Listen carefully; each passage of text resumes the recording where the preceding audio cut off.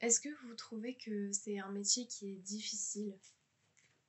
Je ne sais pas comment répondre à cette question, parce que ça me semble facile, mais, mais c'est peut-être très difficile.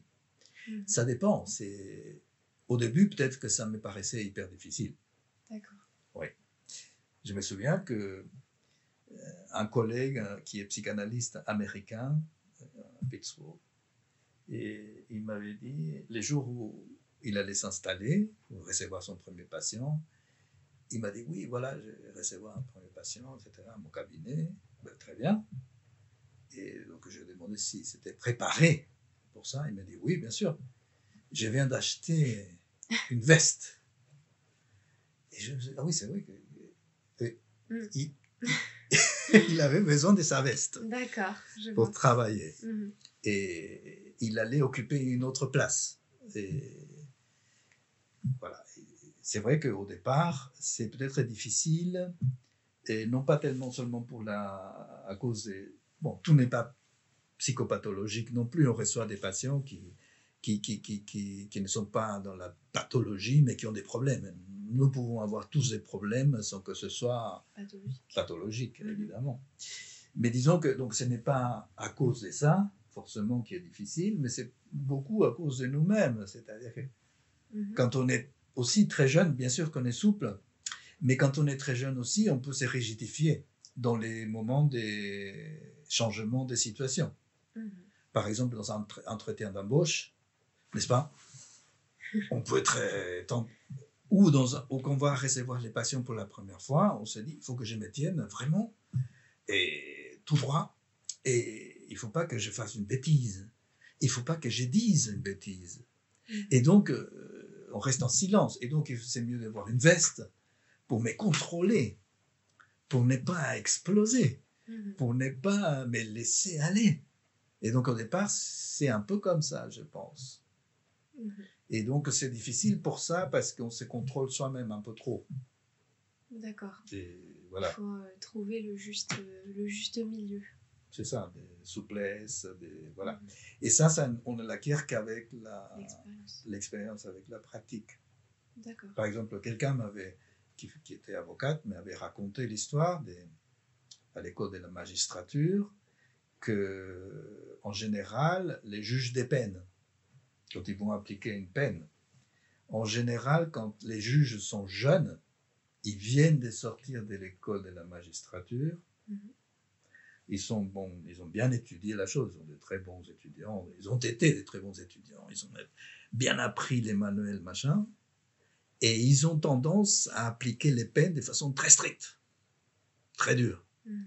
alors que les vieux juges de- d'application des peines, ils sont beaucoup plus, plus souples, moins stricts, Mhm. moins durs dans la peine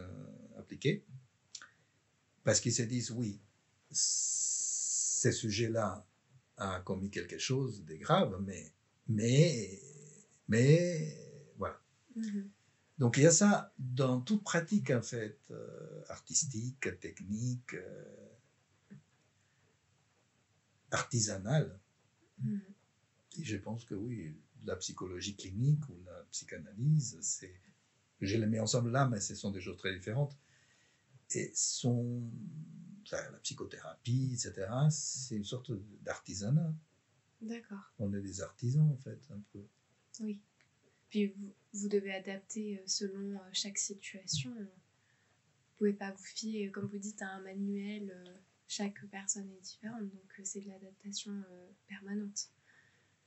Si j'ai bien compris. C'est ça. Bah oui, oui, c'est ça, c'est ce que je pense aussi, oui. Euh, Oui. Justement, par rapport à ça, est-ce que, vous auriez euh, un- une expérience particulière avec un patient qui, vous a marqué, justement? Est-ce que, vous auriez un, patient qui a été euh, euh, particulièrement difficile à appréhender, qui vous a donné du fil à retordre, qui vous a marqué? Oui, ça dépend dans quel, de quel ordre. Tous les patients que, que j'ai reçus qui restent longtemps, ont marqué et marquent. Mhm. Il y a certains qui reviennent même 5 ans plus tard, 10 ans plus tard, 15 ans plus tard. Ça fait 30 ans que je reçois des patients ici. Mhm. J'ai commencé à, à recevoir des patients ici, euh, dans ces mêmes lieux. Et euh, au- oui, en milieu de, de l'année 1989. Mm. Hein, c'est, le XVIIe siècle. N'est-ce pas? Ça va. Ça va Il y a pire. oui. Et donc, euh, oui, il y a des, des patients qui, qui sont venus ici parfois pendant 18 ans, Mhm. 20 ans. Alors, comment voulez-vous que ces personnes-là ne vous marquent pas, Mhm. n'est-ce pas?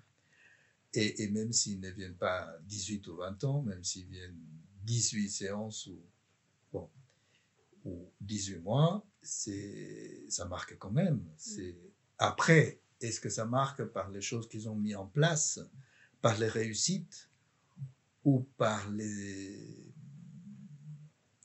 les, les, les trucs inattrapables de la chose? Oui, peuvent avoir marqué par tel. Je ne sais pas quel est l'essence de votre question. Bah, ce serait, euh, si euh, vous êtes d'accord, bien sûr, en regardant l'anonymat du patient, euh, euh, donner un exemple de cas quelque chose qui peut vous revenir peut-être. C'est vrai que c'est un peu difficile comme question, mais je me doute qu'il y a plusieurs cas qui vous, ont marqué, mais s'il y en a un que vous pourriez raconter et dire pourquoi justement ça vous a particulièrement euh, marqué? Un exemple de, de ces matins très tôt.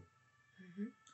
Je me suis inscrit sur Telegram. Et là, dans les contacts, il y avait une ancienne patiente qui était venue à l'époque, qui avait des difficultés de, parce que son mari ou copain euh, ne pouvait pas avoir d'enfant.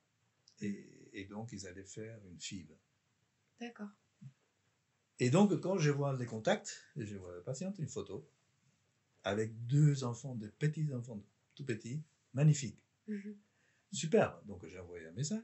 J'ai supposé que c'était ses enfants. Elle ne vient plus hein, depuis longtemps.